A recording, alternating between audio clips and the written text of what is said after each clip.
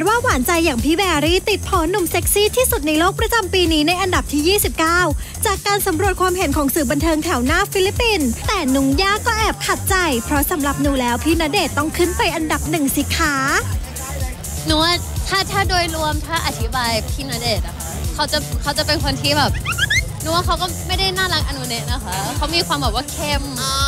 ความแบบว่าเซ็กซี่ลึกๆอะไรอย่างนี้ เพราะฉะนั้นก็ก็